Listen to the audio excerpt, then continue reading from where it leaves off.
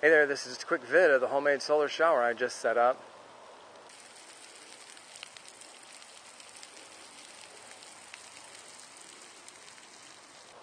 Very simple design. Put a splitter on the house.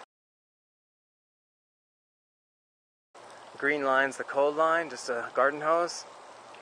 The black line you see goes over to that, there's the coil there of the poly tubing.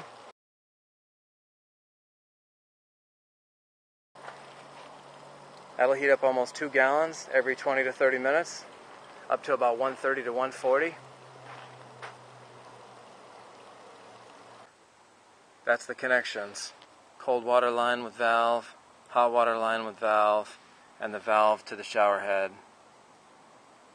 Okay, and here it is disassembled just so you can see the actual parts I used.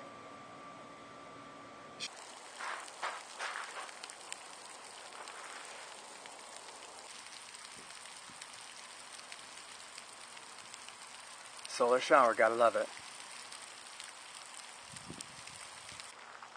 Just for reference, this coil, um, it's just a 100 feet of black plastic poly tubing and a half inch. It gets uh, out here in the summertime up to about 150 degrees Fahrenheit, easily up to 130 to 140. We're talking like in 20 minutes.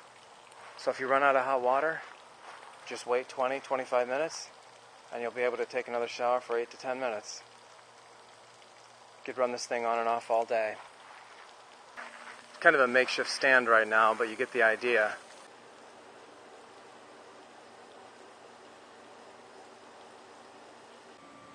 This part, by the way, is optional. I just like having the extra valve there on the cold water, but you don't need it. Ah, the camera's getting wet.